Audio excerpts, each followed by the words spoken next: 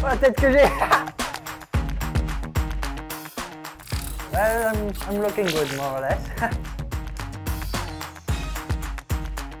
Before every GP, I'm playing to the, the track we go next.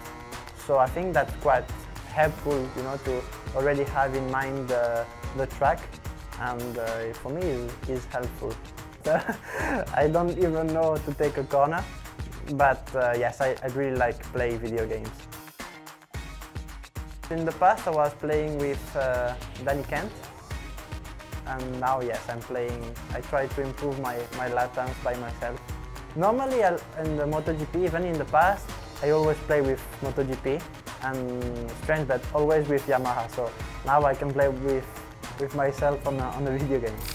I, I really like Qatar. Was the first my first race in MotoGP, so I just we make a small mistake on the on the start. So this was the, the main problem why I, I stole the bike. But for me, it's, it's good to to make the mistake in the beginning of the year and not at the end. you need to play a lot because you know some sometimes I remember I play and just picking up the bike. If you pick up too fast, the bike is going a little bit too too slow.